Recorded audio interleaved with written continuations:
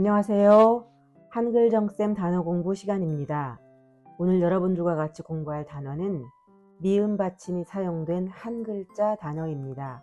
먼저 그림을 보고 이름을 말해 본 다음에 영어와 단어를 보고 저를 따라서 같이 발음해 보시기 바랍니다.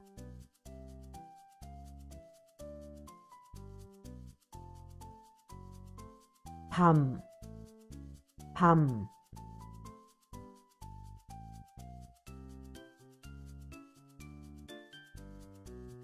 삼, 삼,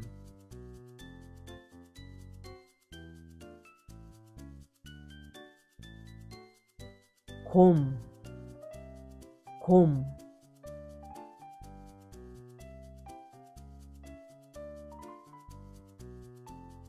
몸, 몸,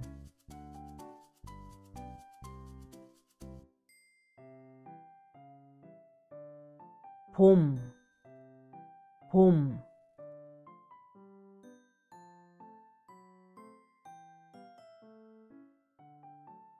섬, 섬,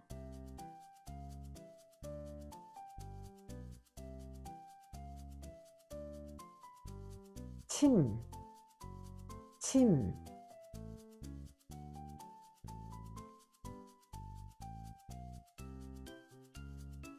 힘, 힘,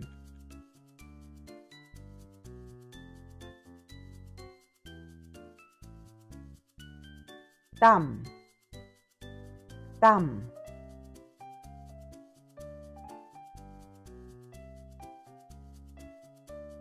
김, 김.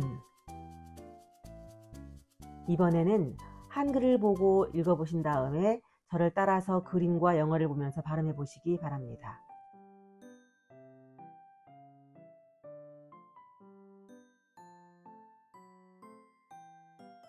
곰, 곰,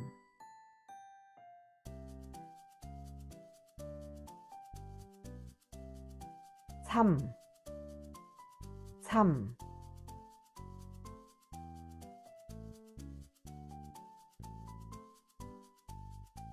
밤, 밤,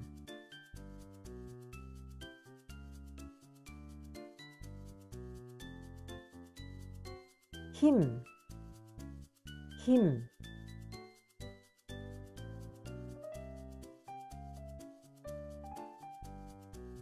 땀, 땀,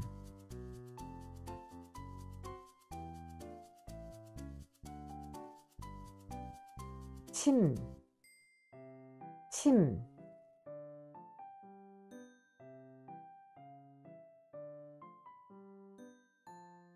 봄, 봄,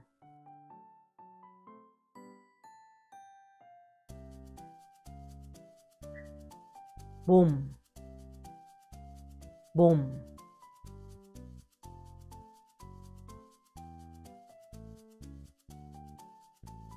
섬, 섬,